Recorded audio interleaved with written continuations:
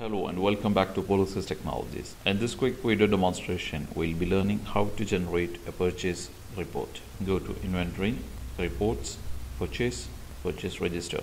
Select from end to date.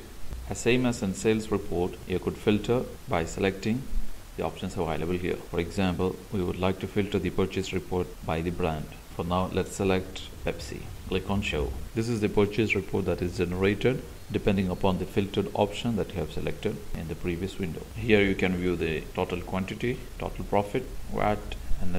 However, if you would like to modify the report, you can click on the small button in the left hand side and select any options that is available in this window. If you would like to enable any option, check in the visible box. Also, you can adjust the width of the columns by typing in this box and finally click on apply. This is the basic way for generating a purchase report in Polosys ERP application. Thank you for watching.